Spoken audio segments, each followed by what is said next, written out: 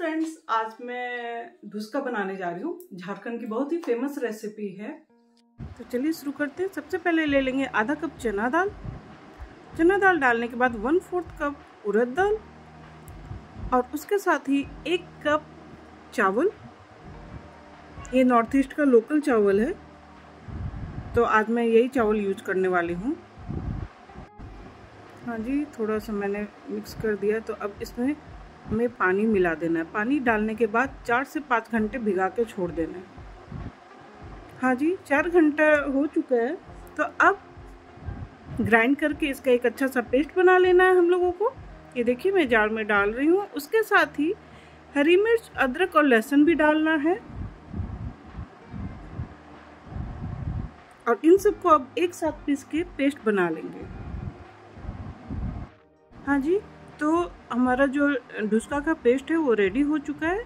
अब मैं इसे एक बाउल में ट्रांसफ़र कर दूँगी।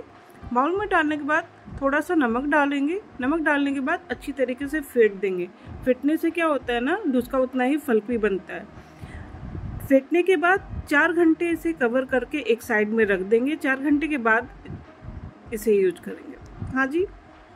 अब यहाँ देखिए कढ़ाई मैंने रख दी थी, तेल डाल दिया है, तेल अच्छी तरीके से गर्म हो चुका है और चार घंटे के बाद हमारा पेस्ट भी अच्छी तरीके से रेडी हो चुका है। तो कुछ इस तरीके से मैंने ढुसका फ़र्स्ट ढुसका डाल दिया है और थोड़ी देर बाद मैं थोड़ा सा तेल इस तरीके से करूँगी ताकि ढुसका जो है वो थोड़ा सा फूल जाए। और ये देखिए कितनी अच्छी तरीके से फूल के आ रहा है।